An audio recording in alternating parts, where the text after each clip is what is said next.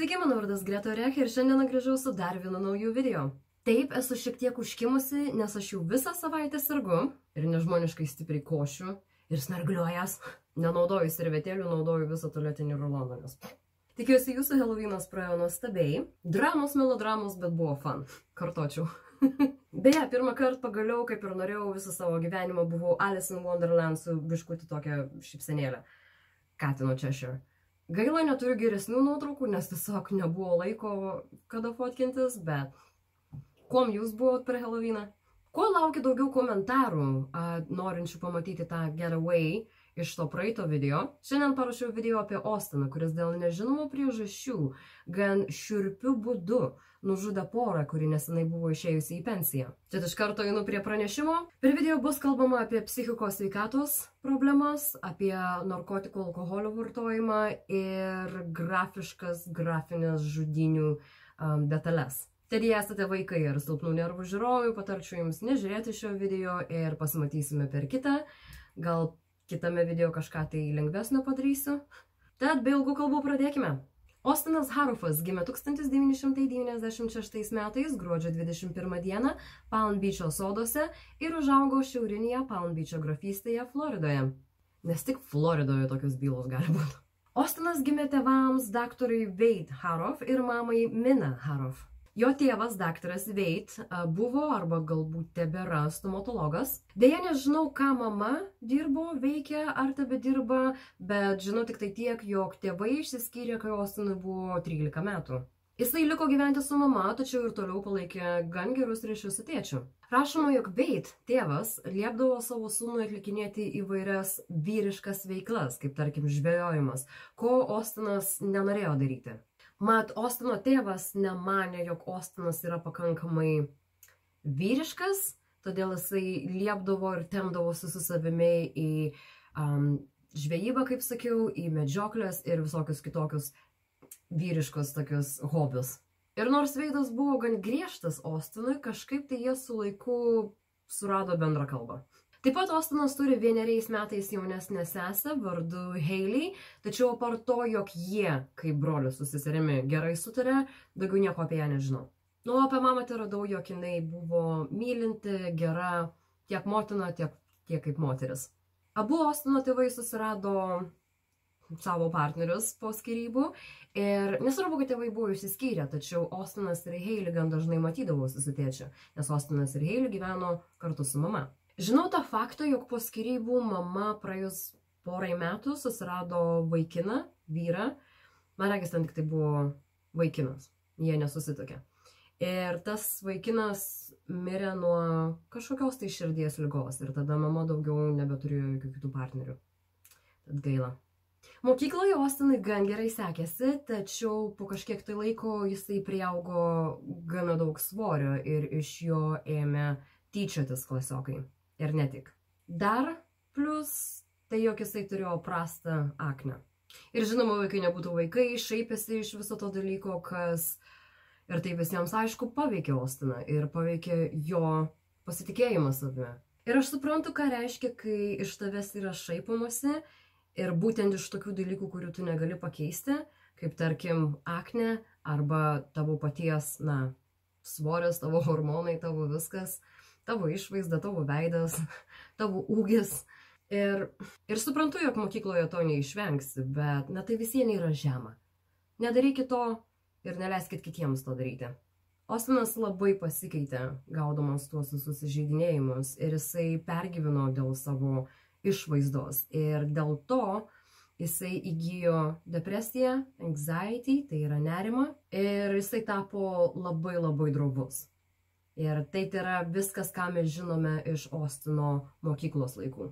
Bent jau vidurinės mokyklos. Ir aš jaučiu, kaip aš kimstu. Again.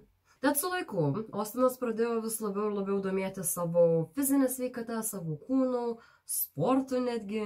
Prisijungė prie futbolo komandos, vis dažniau įdavo į sporto salę, žinau, kad jam labiausiai patikdavo kilnoti svorius. Ir jisai taip pat lankė imtynės.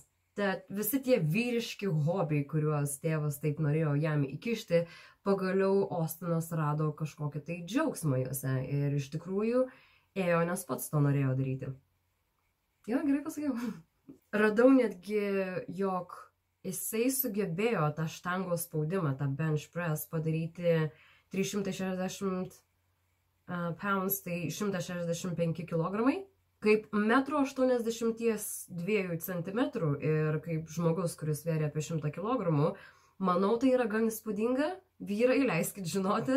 Ir šis visas fizinis pasikeitimas jam iš tikrųjų suteikė vis daugiau drąsos ir jis vis labiau mėgo savo kūną, tačiau su laiku, kuo labiau jisai tai darė, tuo labiau apsėstas tapo tuo. Tai yra svorio metimu, ėjimu į salę ir, na, apskritai visais tokiais dalykais. 2015 metais Ostinas įstojo į koledžą, gavo vietą Floridos valstijos universitete ir pradėjo studijuoti biologiją, kadangi jisai norėjo um, kažkokios tai karjeros būtent biologijoje.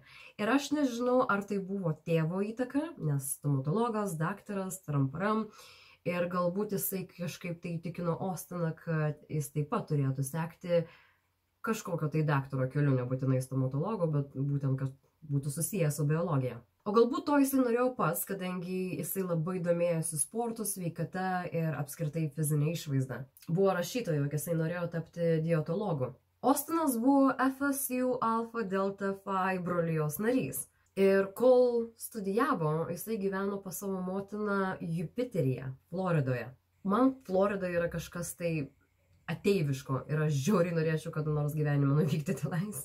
Deja, kad ir kokie jo geri kėslai buvo, tai yra sveikata, studijos ir visa kita, Ostinas gana daug gėrė.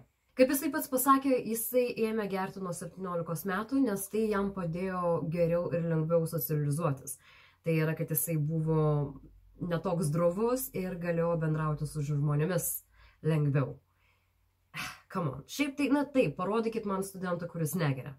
Ir aš suprantu, kodėl žmonės, ypač na, jaunesni, kaip tarkim studentai, vartoja alkoholį, nes tai jiems padeda atsikvėpti, atsipūsti ir tapti šiek tiek drąsesniais ir lengviau socializuotis ir panašiai. Bet jeigu tu tai darai 2-3 kartus per savaitę su savo tais pačiais draugais, tai ar tau reikia to alkoholio toliau? Jeigu tu šios žmonės pažįsti, ar tu negali tiesiog blaiviai su jais kažkur tai pabūti, kažką tai paveikti, bet žinoma, tai koledžas ir kuris studentas negeria, right? Tiesiog ką noriu pasakyti, jeigu draugai jūs verčia gerti, arba jeigu jūs jaučiatės, kad jums reikia išgerti prieš einant susitinkant su tai žmonėmis, tada ar tikrai jie yra jūsų draugai? Ir ar tikrai verta švaistyti savo sveikatą tam, kad pabendraut su tai žmonėmis tą vakarą? Kaip sakiau, nuo mokyklos laikų Ostinui išsivystė ta um, nerimas, socialinis nerimas, social anxiety, kas labai trukdė jam. Tačiau tai nebuvo niekada diagnozuota pačių daktarų. Ir kaip sakiau, jisai buvo ten to alfa delta pi brolijos narys ir jisai jautė spaudimą gerti. Ir kadangi jis turėjo tą social anxiety, norėdamas pritapti, jis tiesiog sutiko tai daryti. Ir kaip jisai pats kalbėjo, jis gerdavo tokiais dideliais kiekiais, kad tiesiog nebeatsimindavo kartais, kai pabusdavo, kur jisai yra, kaip jisai tenais atsidūrė, žomų. Žodžiu, jam jis gerdavo iki komos. Ir tai būdavo kartą į savaitę, du kartus į savaitę. Na ir žinoma, koledžas, jisai irgi šiek tiek eksperimentavo su narkotikais, pagrindę LSD, psichodeliniais grybais, moliui gan dažnai rūkydavo žolę, vėlgi dėl draugų ir su draugais, tik tai jisai, kai būdavo vienas, jis negerdavo ir nevartodavo jokių narkotikų, tačiau kai vat, būtent būdavo su tais um, brolijos nariais ar draugais, kitaip sakant, duoda imk, verčia irgi imk jas. Bet aš skaičiau, jog jisai, tarkim, tuos psichodelinius uh, narkotikus buvo išmėginęs tik tai kartą, kaip tarkim, kartą išmėgino LSD, nieko jam nebuvo, kartą išmėgino psichodelinius grybus, irgi kaip ir nieko nepajautė ir dėl to jisai sakė, kad buvo labai nusivylęs, nes visi kalbėjo apie tą poveikį ir wow, čia maždaug tripinam visi ir panašiai. Ir jisai norėjo turbūt tą pasiekti, bet kad ir kiek kartų mėgino, jis sakė, kad nelabai, jis beveik iš vis nieko nejautė. Ir kartais, norint padėti jam mokytis, studijuoti, jis vartodavo įvairius stimulantus, kaip Adderall, Ir tuo metu, kol studijavo, kaip manau, daugelis susirado ponelę ir jos vardas buvo Keisy. Nieko per daug apie Keisy nežinau, tad neklausinėkit, einam toliau.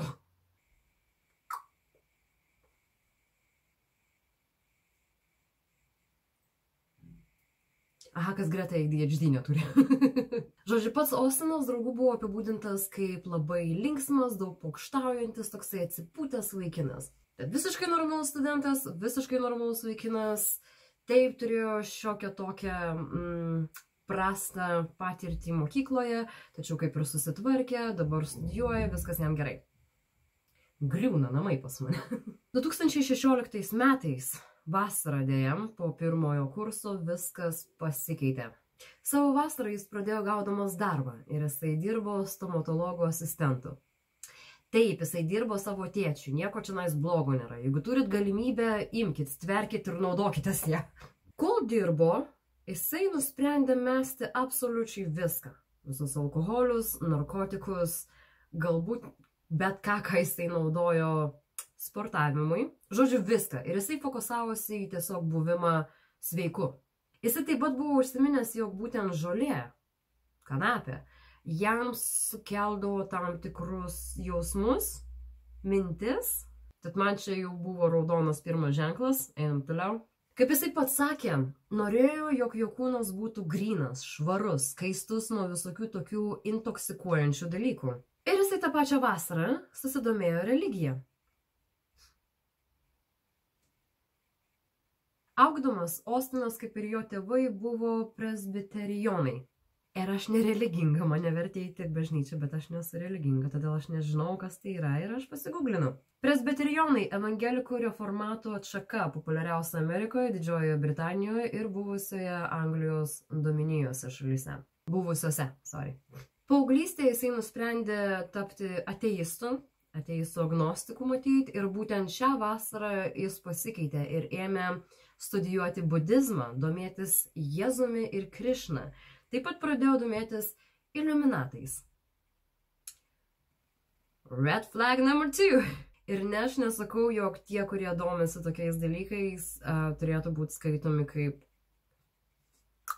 Bet šiuo atveju tai buvo antras raudonas ženklas. Sakiau, jog iš Ostino nuo mokyklos laikų buvo šaipomasi ir būtent dėl to jisai po kažkiek tai metų nusprendė uh, rūpintis labiau savo kūnu, sportuoti, dietos ir visa kita. Ir būtent šią vasarą, meniu kaip jis įsakė, jis pagaliau ėmė jaustis gerai savo kūnai, jis pagaliau ėmė mėgti, kaip atrodė jo kūnas. Ir žinoma, tai jam suteikė daugiau pasitikėjimo ir drąsos, bet dėja, kad ir kokie buvo geri jo kėslai ir kad ir kaip jisai pagaliau ėmė save mėgti, po šitiek laiko dėja ši vasara jam nepasibaigė taip gerai, kaip jisai galvojo. Kitas taigus pasikeitimas jo charakteryje buvo tai, jog jisai norėjo tapti reperiu. Ir tu visiškai nesitikėtum iš jaunolio, kuris turi tą social anxiety, tą socialinį nerimą, buvimo droviu esant tarp kitų žmonių. Droviu ant tiek, kad reikėtų naudoti intoksikuojančias visokias priemonės. Ir okei, okay, aš įterpsiu porą jo įrašytų dainų. Deep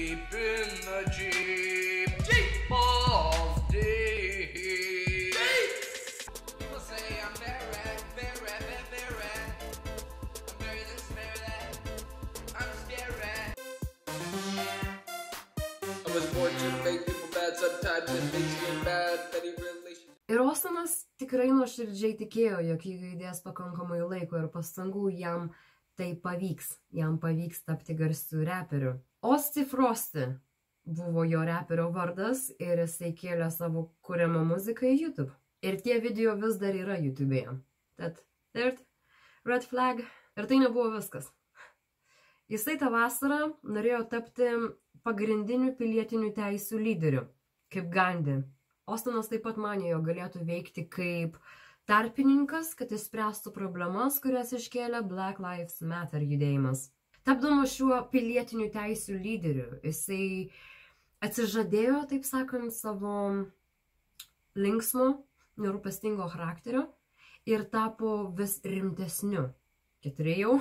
Dar kitas keistas dalykas, ką Ostinas įgyjo per tą vasarą, ypač dirbdamas pastėti, jisai patapo labai tokiu geraširdžiu, nemoku apibūdinti net. Na tai yra, jisai visą laiką buvo geros, dosnus ir mielas visiems kitiems, tačiau būtent šią vasarą tai pablogėjo. Nenoriu sakyti, jog tai pablogėjo, nes vis dėlto tai yra na, geras bruožas. padėti žmonėms ir rūpintis kitais žmonėmis. Geras ir gražus noras visiems padėti visais rūpintis, tačiau Ostinas tai darė iš gan tokios keistos pusės. Klausinėdavo pacientų, kurie turbūt tiesiog norėdavo palaikyti pokalbį, kol ten jiems kažką darydavo, gan tokių intimių asmeniškų dalykų. Ir jisai taip įsijausdavo į jų, į tų pacientų, į tų žmonių gyvenimus, problemas, jog imdavo net verkti dėl jų. Ir tiesiog penktas penktas toksai staigus pasikeitimas per tą vasarą, per tą vasaros pradžią, man regis. Ir man labai keista, kaip niekas nepastebėjo. Skaičiau, jog tėvai kaip ir pastebėjo, kaip ir maždaug mėgino kalbėti su Ostinu, bet uh, matyt, Ostinas buvo pakankamai normaliai atrodantis, normaliai besielgintis ir tėvai, draugai ir netgi pati sesuo, na gal tiesiog leido tai daryti, nes, na kas ten žino, gal jam tikrai reikėjo tų pasikeitimų. Beje, stomatologo padėjėjų jisai buvo tik tai šešias savaitės. Tad man regis visas šitas dalykas įvyko per tas šešias savaitės, daugiau mažiau. Dabar prasugom dvi savaitės iki to pagrindinio įvykio. Ostinas išvyko aplankyti savo merginos, Casey, ir kai grįžo, tėvai pagaliau pastebėjo, pagaliau pastebėjo, jog Ostinas kažkoks netoks, jog jo elgesys vis labiau kėlė nerimą aplinkiniams jo tokį eratišką elgesį galima buvo pamatyti žinutėse, kurias jisai siūsdavo savo merginai. Vos ne kaip bipolar. Vieną minutę viskas gerai, kitą minutę viskas blogai. Turbūt svarbiausias ir labiausiai gazinantis pasikeitimas buvo tada, kai Ostinas ėmė skaityti, laikyti save Jėzumi, Dievu. Jisai tikėjo, jog gali palaiminti žmonės ir netgi manipuliuoti vandeniu, jog vanduo jam suteikdavo galios šventos supernatural galios.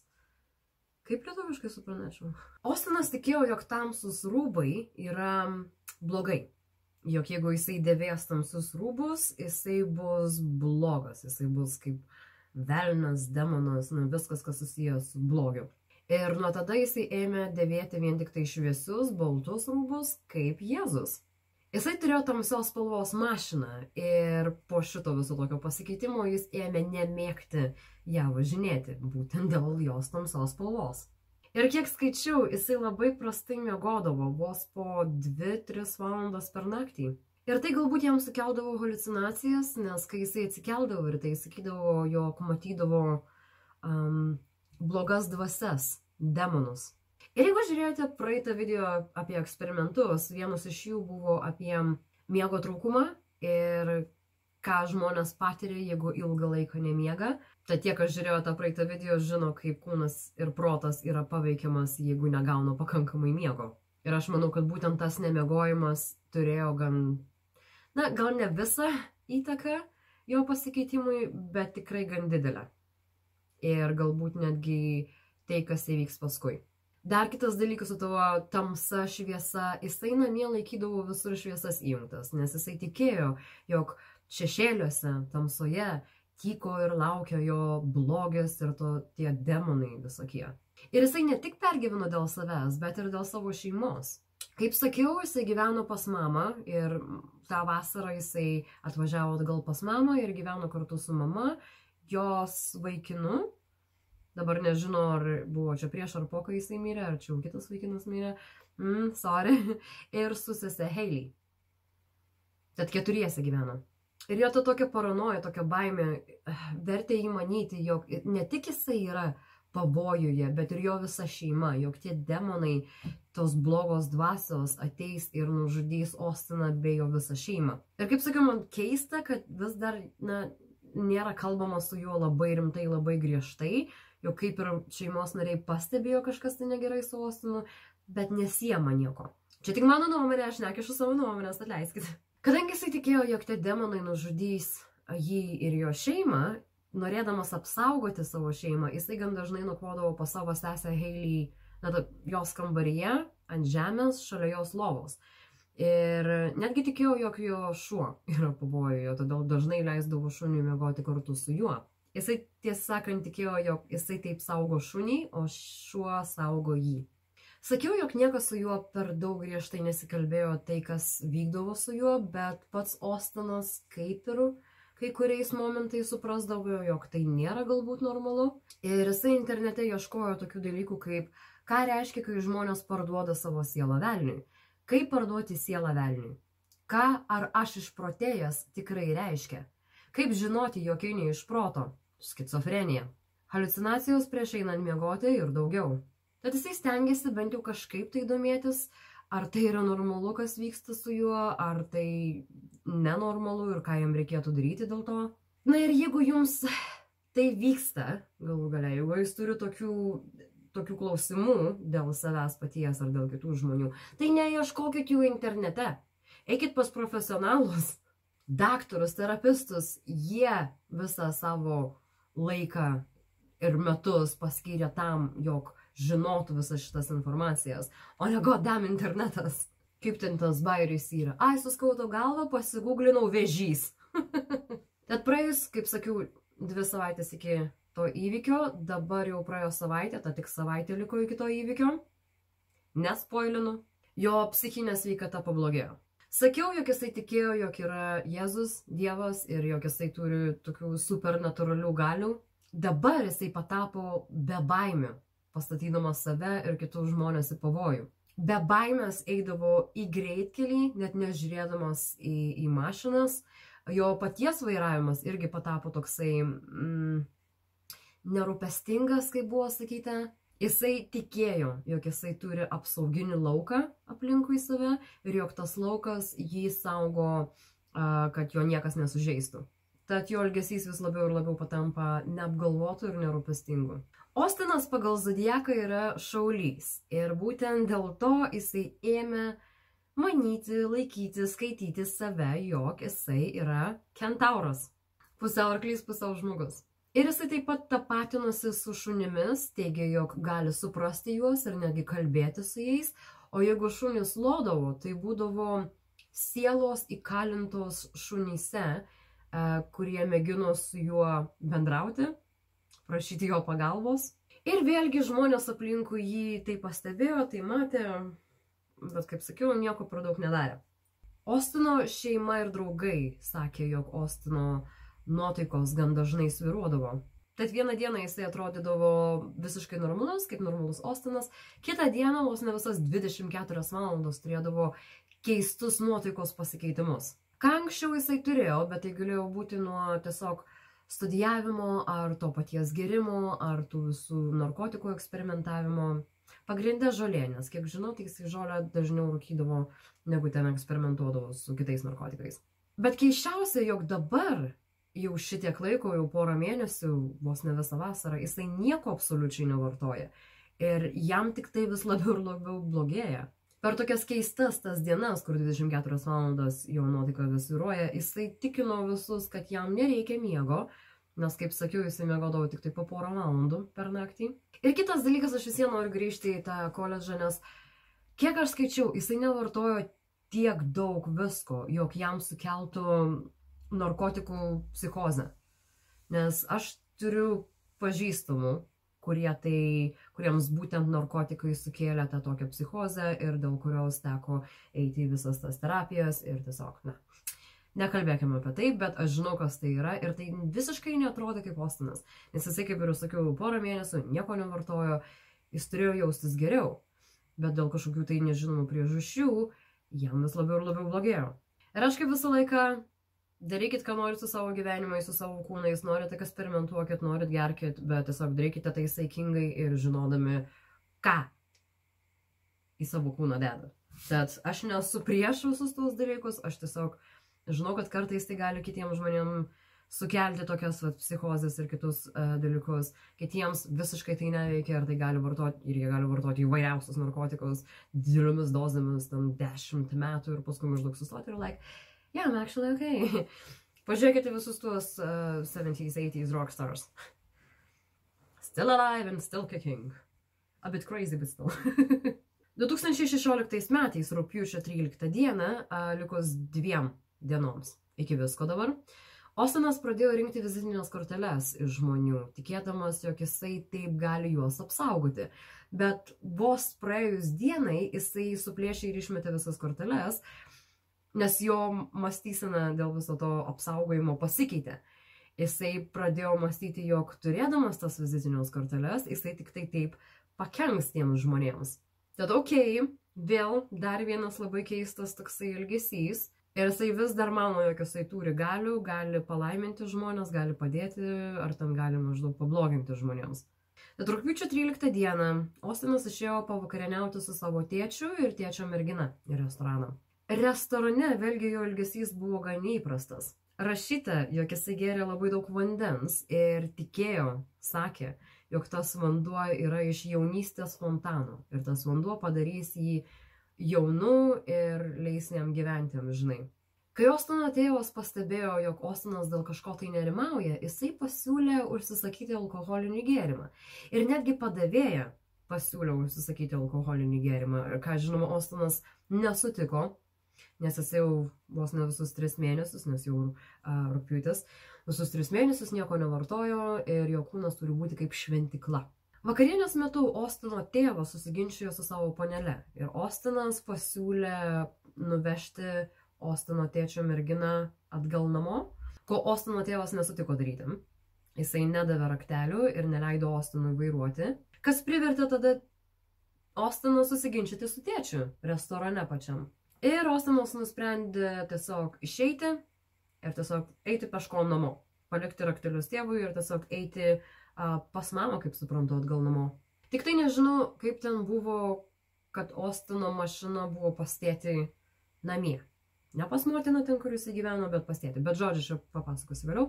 Kalbėtojo, kol Ostinas ėjo namo, jisai mojavo praeiviams, liktais galvodamos, jog tie praeiviai jį pažįsta, kalbėdamas su nepažįstamais praeiviais, jisai netgi kalbėjosi su benamiais gatvėje, kurie sėdėjo.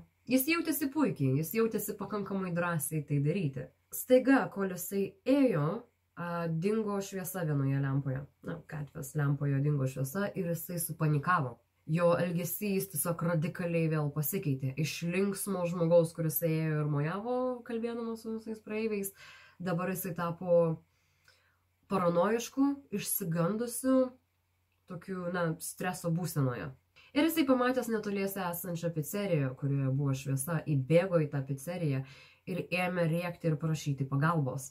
Ir aš daugiau nebežinau, kas įvyko, ar žmonės iškvietė kažką, tai ar Ostinas gal grįžo į save ir tada išėjo namo, gal jisai paskambino mamai, pasiemė, na bet taip baigėsi tas vakaras jau.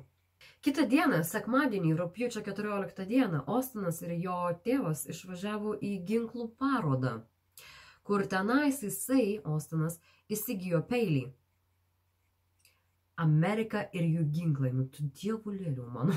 Ostino tėvas pasakojo, jog tenais toje parodoje Ostinas buvo labai baigštus, lyg vos na, kaip bijodamas visų tenais esančių žmonių, kad prieidamas prie kiekvieno ten stalo maždaug, jisai klausinėjo tų pardavėjų apie ginklus ir savisaugą, būtent peilius ir savisaugą. Ir dėja, kad ir kiek jam ten padėjo ir pasakojo, kaip save apsiginti, jisai nepanaudos to peilio saviginai, kurį nusipirko. Spoilas. Tad pirmadienis 2016 metai, rūpjūčio 15 diena. Dėja, būtent šią dieną viskas ir įvyko. Iš pačio ryto Ostinas labai gerai jautėsi. Tiek dėl savęs, tiek dėl, dėl apskritai dėl visko. Ir jisai nusprendė um, tiesiog išeiti pabėgioti. Ten paplūdimiai kažkur tai. Tai nebuvo normalus bėgiojimas. Sakiau, jog jisai skaitė save šunimi, kentauru. Ir kai jisai pasiekė tą paplūdimi. Jisai vietoj to, kad bėgtų kaip normalus žmogus ant dviejų, ėmė bėgti keturiomis. Ir žinoma, tai pritraukė na, dėmesį iš kitų žmonių, bet jam tai visiškai nerūpėjo, jis mėgavosi tuo savo tokiu bėgimu. Po šio tokio savo pasibėgiojimo jisai nusprendžia aplankyti tėtį, tai yra tiesiog nueiti, nubėgti, jas pas savo tėtį į namus ir atsiimti mašinos raktelius. Nes, kaip pamenate, vakar, sekmadienį, jisai paliko juos uh, tėčiui, kai restorane susipyko. Ir netgi buvo sakyta, jog kol jisai ėjo link tėčio namų, jisai tiek savo, tiek kitiems sukelinėjo pavojų, tiesiog eidamas į gatvę ir nežiūrėdamas nei dėl mašinų, nei dėl šviesoforų, nieko. Jam tiesiog nerūpėjo, nes tikėjo, kad turi tą apsauginį maždaug barjerą. Jam atvykus, Ostino tėtis kaip ir pastebėjo, kad kažkas tai nebuvo labai gerai su Ostinu ir netgi mėgino atkalbėti pasimti savo raktelius mašinos. Ir norėdamas padėti savo sūnui, jisai pasiūlė jam išgerti tabletę ar tam porą Zanakso. Ir galbūt tai būtų padėję jie, bet jau mes, kaip žinome, Ostinas nieko tokio neima į savo kūną. Ir kai tėvas mėgino įkišti tą Zanakso butiliuką Ostinui, Ostinas pasėmė tą butiliuką ir tiesiog sviedė į žemę viską ištaškydamas. Jie taip kurį laiką ginčijosi ir Ostinas nusprendė užlipti ant savo tėčio mašinos stogo ir šokinėti, ir rėkti. Ir kiek aš skaičiau, vienur buvo rašyta, jo garažo durys buvo atidarytos ir kaimynai um, visą tai matė. Kitur aš girdėjau žmonių, kurie pasakojo apie šią istoriją, jų nuomonė buvo tokia, jog Ostino tėčiui labai rūpėjo kitų žmonių nuomonė. Ir jisai galų galę nusprendė atiduoti tos raktelius Ostinui, kad jisai nustotų daryti jam gėdą. Ir aš nežinau, ar tai tiesa ar ne, jog tėvui rūpi kitų žmonių nuomonė labiau nei savo sunaus psichinė sveikata. Na, bet eikime toliau. Atgavęs mašinos raktelius, jisai fuf, pradėjo važiuoti į tą savo alfa, beta, phi, brother, ten kažkokią nesąmonę, e, kuriame vyko vakarėlis. Ir žinoma, Ostinas tame vakarėlyje nieko nevartojo. Tad galbūt įpusėjus vakarėliui, tiesiog po kažkiek tai laiko, kai Ostinas atvyko, Jisai pasiemė butelį alaus ir apipylė savo ranką, sakydamas, jog jam reikia pamaitinti ją ir jog ranka sugers alkoholį pro odą. Kas vėlgi labai keista, nes tu visą, visą šį laiką sakai, kad um, nenori nieko tokio į save dėti, bet tavo rankai yra ok gauti alkoholio. Nėra žinoma, kaip ilgai jisai užtruko tame vakarėlyje, bet po jo jisai vėl susitiko su tėčiu, jo mergina ir išvyko į restoraną pavakarieniauti. Dėl kažkokių priežasčių, I mean, mes žinome dėl kokių priežasčių, dėl psichologinių priežasčių, bet Ostinas pasijuto įkalintų tame restorane ir jisai vidury vakarienės tiesiog atsikėlė, atsistojo ir maždaug išėjo. Vos neišbėgo iš, iš to restorano. Kaip pats Ostinas šnekėjo, jisai neatsimena, kiek laiko užtruko eidamas pas mamą namo, ar kaip jisai iš vis tenais atsidūrė, ar kada. Namie motina irgi pastebėjo, kad kažkas tai negerai buvo su Ostinu. Ir netgi jisai pats kalbėjo, čia jau paskui daug vėliau, jog jisai atsimena, kaip jisai nieko nepamena, tada atsipeikė kažkur tai kitur, vėl kažkaip tai nebepamena, vėl atsipeikė jau kitoje maždaug vietoje. Tai yra, kad atsipeikėja vėl sąmonė užtemsta, atsipeikėja vėl sąmonė užtemsta. So, Ostinas ištroško, kol buvo pas mamą namie ir um, vandens? Ne, kepimo aliejų. Jisai pasiėmė didelę tą bonkę kepimo aliejus ir pradėjo tiesiog. Tada jisai priešai savo mamą atsidarė ir ėmė gerti tą kepimo aliejų. Aš nežinau, kaip mama jį sustabdė, bet žodžiu sustabdė. Jo mama netgi sugebėjo jį nuraminti iki tiek, jog Ostinas grįžo atgal pas, na, tėtį į tą restoraną, mėginti užbaigti vakarienę.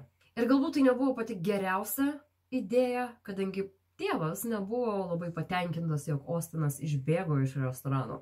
Antrą dieną iš eilės a, sugėdino savo tėvą tokiu neįprastu elgesiu.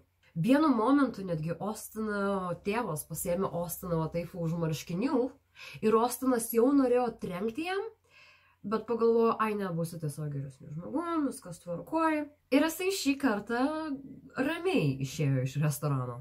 Nu, ta prasme, ramiai, bet vėl ėjo į eismą, tikėdamas, kad niekas jo nepartrenks. Ir jisai taip eidamas, galbūt ėjo atgal pas mamą, bet jis pastebėjo kažkokią tai tamsų siluetą. Nežinau, ar tai buvo jo vaizduotė, ar tiesiog tai buvo žmogus tamsiais rūbais apsivilkęs ir kažkur tai daugiau mažiau šešėliai, bet Ostinas tikėjo, jog tai yra blogoji dvasia ir jog ji atėjo nužudyti Ostino.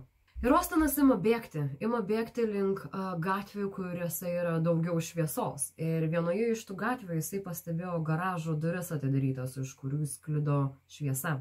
Garažas kaip sakiau, buvo atidarytas, o jame sėdėjo pora, kuri paprasčiausiai žiūrėjo televizorių tuo metu. Šis vyras ir moteris buvo Joseph John Stevens III ir jo žmona Mišelė Scott Stevens. Mišelė ir Džonas buvo vedę maždaug 10 metų jau. Džonui buvo 59, Mišelė 53. Ir Džonas dirbo kraštovaizdžio tvarkymo įmonės savininku, o Mišelė dirbo finansų sektoriuje. Abu anksti išėjo į pensiją ir dabar gyveno Tequasta rajone iš šiaurę nuo Palm Beach, netoli ten, kur gyveno Ostino mama. Tad pagal mane taip Ostinas mėgino bėgti uh, pas mamą, bet kol bėgo, pamatė šį garažą. Taigi tą vakarą Mišelė ir Džonas buvo garaže, kaip ir įprastai, ilsėjosi. Tenais jie turėjo savo du, dvi kėdės, savo du krėslus ir televizorių. Ir su atidarytom garažo durim jie tiesiog leido taip savo vakarą, pasisveikindami, pamojuodami praeinantiems kaimynams, nes visi kaimynai pažinojo vienas kitą ir netgi kaimynai draugai apibūdino šią porą kaip labai, kaip labai malonus, rūpestingi, mylinti žmonės. Ir aš nežinau, nu tokią bendruomenę turėtų, va yra. Norėčiau, kad nors ir aš tokiu kaimynu. Tad Ostinas įbėgo į jų garažą ir ėmė rėkti, jog tamsi figūra jį nužudys. Ir žinoma, tai šokiravo ir šiek tiek išgazino tiek Mišelę, tiek Džoną. Ir, na, maždaug, ką jūs darytumėte tokiu metu? Turbūt mėgintumėte raminti kažkaip tai. Um, ir beje, Ostinui tuo metu buvo 19 metų. Ir tuo metu Džonui buvo 59, Mišeliai buvo uh, 53. Išsigandusi Mišelė ėmė rėkti atgal. Ostinui nėra žinoma ką būtent, bet tai pamatęs Ostinas pagalvojo, jog Mišelė buvo ragana ir jisai užpuolė ją. Jisai buvo įsitikinęs, jog Mišelė buvo ragana, jog jinai buvo bloga kaip ta figūra, kuri atseit persikiojo Ostiną tą vakarą. Ostinas susitraukė peilį, tą patį peilį, kur dieną prieš nusipirko toje ginklų parodoje ir ėmė badyti Mišelę. Ir vėliau jisai atsisuko į Džoną ir pradeda badyti ir jį. Ir yra rašoma, jog jisai sumušė ir subadė porą. Tad matyt, kol visa tai vyko, visi trys, na, kaip aš įsivaizduoju, jisai užpuolė Mišelę. Džonas mėgino ginti.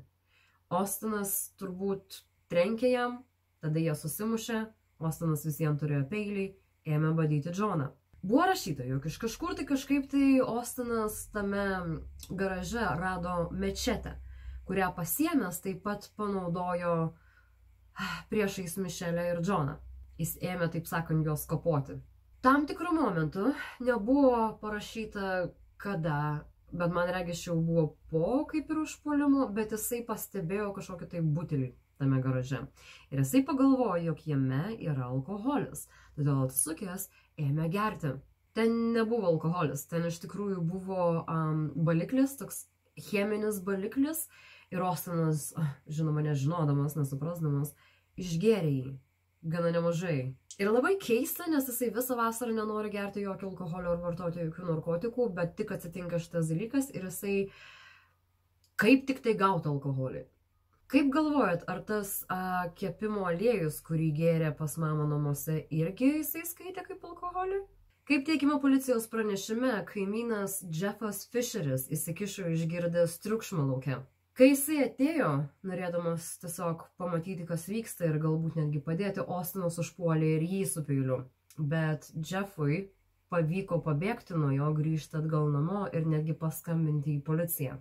Jeffas patyrė gan stiprius rimtus sužalojimus, nes Ostinas jam subadė visą nugarą ir net kaklą. Bet Džefas visiems sugebėjo išlikti ramiu per tą visą pokalbį su policija ir paaiškinti, kas atsitiko ir kur visą tai vyksta. A medical young man beating up a woman across the street. Either of them injured. Can you tell from where you are? Yes, there's a girl laying on the ground. He beat her up.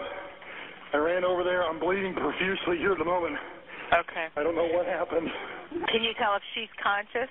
No, it does not appear so, no. I've been stabbed in the back. I'm bleeding pretty bad. Dabar tik tai nežinau ar kada. Um, ar kai Ostinas grįžo pas tėtį, ar jau kai jisai pabėgo iš to restorano antrą kartą. Galbūt Ostino tėtis paskambino mamai ir pasakė, kad, o, Ostinas vėl kažkur tai mieste klaidžioja. Jis paskambino policijai, norėdama pranešti apie savo sūnų. Ir tiesiog labai keista elgesi tą vakarą savo sūnaus. Tad yra motinos pokalbis, kai jinai paskambina policijai ir praneša apie tą sūnų. Ir man regis, kad tas pokalbis, tas skambutis būtent įvyko vos ne porą minučių prieš šį visą įvykį.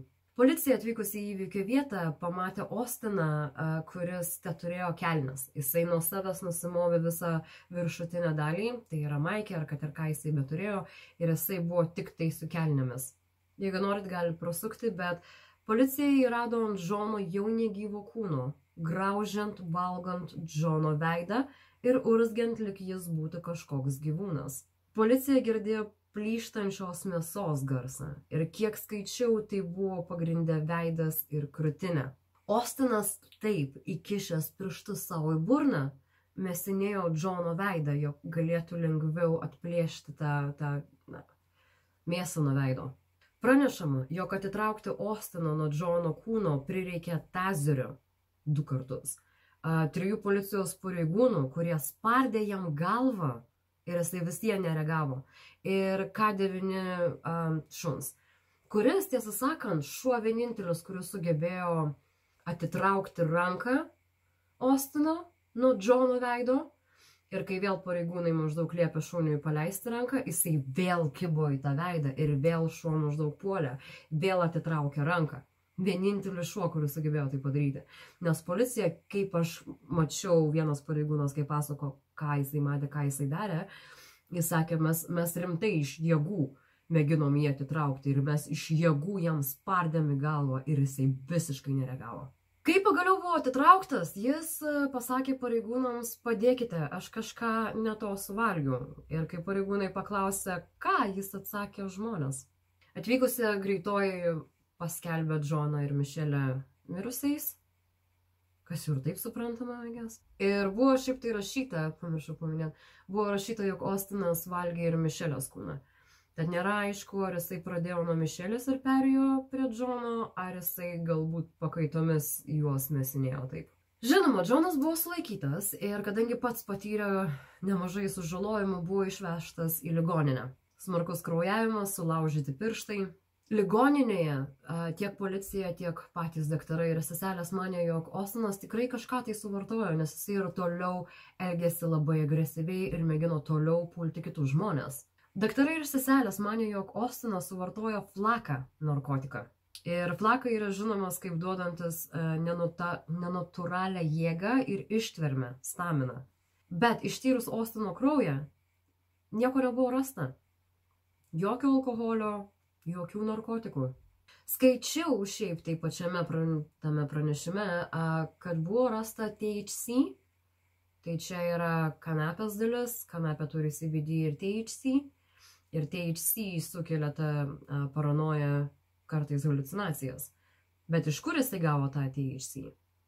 Kitas dalykas, žmonės, tiesą sakant, patys gamina smegenyse visokius ten tokius neaiškius narkotikus. Pasidomėkit, šiaip labai įdomus dalykas. Bet Be sulaužytų pirštų ir kelių kitų sužalojimų, nes buvo kažkaip tai kažkur jisai sugebėjo įsipjauti savo žuvį, jis patyrė ir smurkius vidinius sužalojimus nuo to baliklio, atsimenu, kuris išgerė ten tą baliklį. Jam uh, išdegino gerklę, skrandį, uh, dėl šio viso to baliklio gerimo inkstų ir kepenų nepakankamumas, jam buvo daug vidinio kraujavimo, jos mėginyse taip pat buvo kraujo krešulių, uh, O vienu metu ligoninės personalas tiesiog pasakė, kad ne, nu, jis neišgyvens. Viskas, darykit, ką norit, jis neišgyvens. Bet kažkaip tai stebuklingai Ostinas sugebėjo po dviejų mėnesių buvimo ligoninėje pasveikti. Ostinas buvo apkaltintas pirmojo laipsnio žmogžudystę 2016 metais, rūpiučio 15 dieną. Tad jisai buvo apkaltintas tą pačią dieną, kai nužudė Džoną ir Mišelę, bet visiems buvo nuvežtas į ligoninę, kad išgyventų, kad galėtų um, būti nuteistas. Tad jisai buvo apkaltintas dėl Mišelės ir Džono nužudimų, pasikesinimu nužudyti Jeffą, tą kaimyną. Ir kol jisai laukia to savo teismo, jam buvo atlikta labai daug visokių tyrimų, norint nustatyti jo psichinę būseną, psichinę sveikatą. Po šių tyrimų jam buvo diagnozuotas bipolinis sutrikimas su psichoziniais požymiais, vėliau netgi skizofrenija. Buvo peržvelgta ir jo vaikystė ir pasirodo, jog jisai kentėjo nuo miego paralyžiaus ir netgi tikėjo, jog buvo pagrobtas ateivių. Žinome ir tai, kad jam teko pereiti mokykloje, kas įsivystė į depresiją ir uh, social anxiety, tą socialinį nerimą. Jo tėvai ilgą laiką negyveno kartu ir išsiskyrė, kai jis lankė trečią klasę, nors aš skaičiau, kai jam buvo 13 metų, tai galbūt tas visas ilgo na, laiko tarpas, kol jie skyrėsi, šiek tiek užtruko, bet pats Ostinas, cituoju, sakė, buvau pripratęs ir nežinau, kas yra šeima. Tai galbūt tai irgi įtakojo psichinę sveikatą. Žinome ir apie jo tą nuotaikos viravimą, kurį jisai patyrė koledže, bet tik tai tas viravimas būdavo tik kelioms valandoms, ne visoms 24.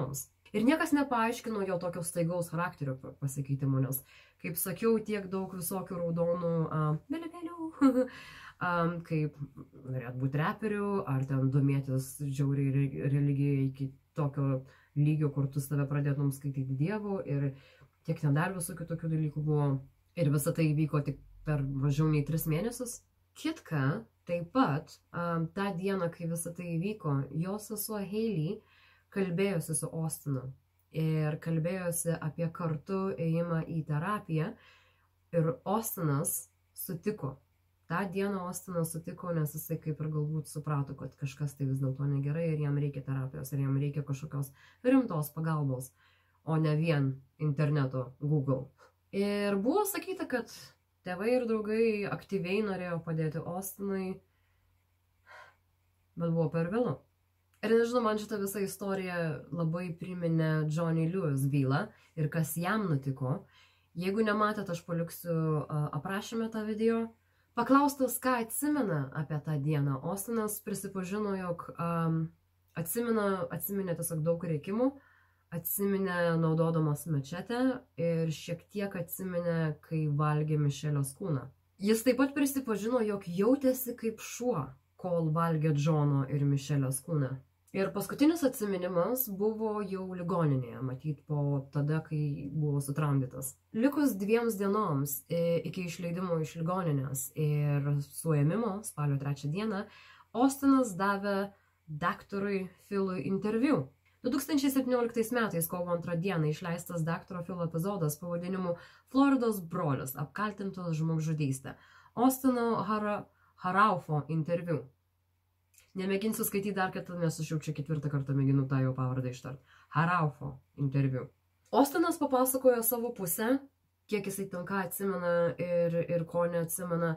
Ir jisai labai gailėjosi ir atsiprašinėjo uh, Džono ir Mišelės šeimos, draugų, visų žodžių atsiprašinėjo ir, na, atrodė tikrai, jog jisai gailisi, jog jisai nežinojo, ką jisai daro, jisai teigia, jog jis labai daug ko neatsimena ir nesuprato, kodėl tai padarė. Jisai netgi kalbėjo, kaip jautėsi tą visą vasarą ir jog atsimena kartais besielgintis keistai, nesuprasdamas kodėl.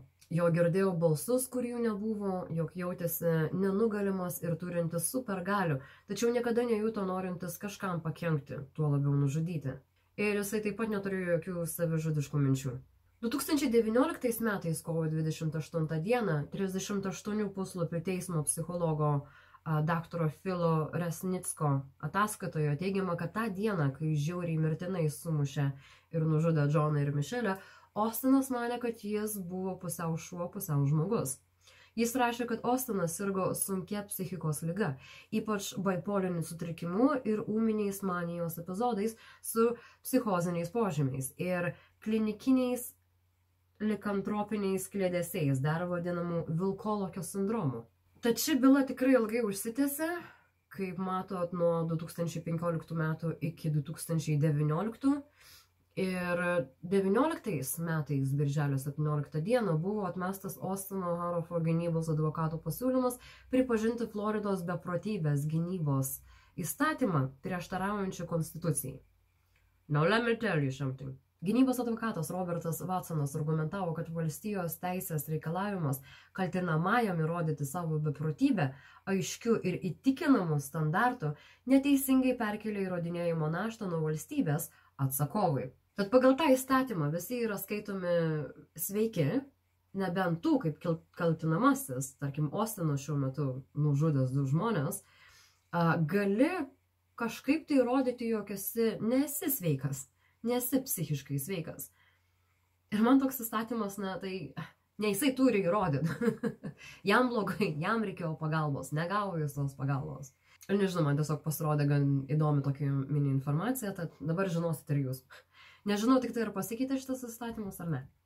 Ir būtent dėl to mėginimo įsiaiškinti, ar Ostinas yra sveikas ar ne, visas šitas teismas gan ilgai ir užtruko. Tad teisėjas leido dar kartą jį ištirti ir jam buvo pakartotinai atlikta psichinė ekspertizė. Um, teisėjas Šerudas Boweris, jaunesnysis, nustatė, kad Ostino teismo procesas be prisiekimųjų prasidės lapkričio 28 dieną šiais metais, praėjus daugiau nei šešeriems metams po žudinių. Tikimasi, kad Ostinas pasinaudos beprotybės gynybą. Kaip sakiau, byla prasidės lakryčio 28 dieną, tad jeigu nepamiršiu, nes man įdomu, aš apie šią bylą sužinau galbūt daugiau nei prieš metus ir aš visiškai nesitikėjau, kad jinai vis dar tęsis. Aš jau galvoju, viskas jau pabaigta. Tikrai bus nustatyta, kad e, nebuvo jisai sveikas tuo metu ir kad jį maždaug gal kažkur tai ne į kalėjimą uždarys, o tiesiog į psichiatrijos kalėjimą. Bet Kaip matote, šita byla vis dar tęsiasi, bet sužinosime atsakymą lapkričio 28 dieną. Tad aš galbūt įkelsiu po šiuo video komentaruose porą straipsnių, išversiu, pasakysiu, koks bus nuosprendis. Bet iki tol dabar klausimas jums, kaip jūs nuspręstumėte, ar Ostinas buvo sveikas tuo metu, ar nebuvo sveikas, kas galėjo įtakoti tokį stiprų, greitą pasikeitimą jo psichinėje sveikatoje, psichinėje būsenoje, ypač grįžus po koledžo. Ir man kitas klausimas, ko aš tiesą sako noriu paklausti, ar jį galima skaityti kanibalu? Kaip jisai pats šnekėjo, jisai neatsimena pusės dalykų, tad ar galima jį skaityti kanibalu, nes jisai gavo iš tą pravardę, ten kanibalas, bla bla bla, vien dėl to, kad, na, taip, jis valgė Džoną ir Mišelę. Bet savo norą, nežinau kaip paaiškinti, žodžiu, padėkit komentaruose man, kanibalas jisai ar ne kanibalas. Nes man tai daugiau atrodo kaip į psichikos sutrikimą, bet, žodžiu, štai yra video pabaiga. Ir aš vėl pasiskūsiu, bet man taip šalta šitam, blėt, kambarį negaliu. Neveltui surgu visą savaitę jau. So, Noriu sužinoti jūsų nuomonę dėl šitų dviejų klausimų, kaip jūs nuspręstumėte nuteisti Austiną ir ką lieptumėte jam daryti į kalėjimą, į psichiatrinę, kažką tai kitko. Ir ar, kaip jūs galvojate, ar jį galima vadinti kanibalu ar ne? Aš jau esu paruošusi kitą video. Žinau, kad video pradžioje pasakiau, kad padarysiu kažką tai lengvesnio ir taip aš renkuosi uh, man asmeniškai negirdėtus eksperimentus, nes mačiau, kad žmonėms gan visai kaip ir patiko. Kitas dalykas - Get Away of the Mind. Irgi norėčiau padaryti, galbūt netgi bus atskiras video, kur aš norėčiau papasakoti porą creepypastų. Hm. Taip, sakiau, kad nedarysiu video apie creepypastas, bet visai smagu pasirodė, tad kodėl ne. Niekada nesakyk ne, kol neišmėgini. Taip supratau, Greta. Tad kaip visada, jeigu turite kokiu nors įdomių pasiūlymų a, byloms ar tiesiog istorijoms iš pasaulio, leiskite man žinoti komentaruose, nes aš skaitau kiekvieną komentarą. Na ir šiandien tiek. Ačiū už jūsų visų dėmesį ir kaip visada pasimatysime per kitą video. Bye.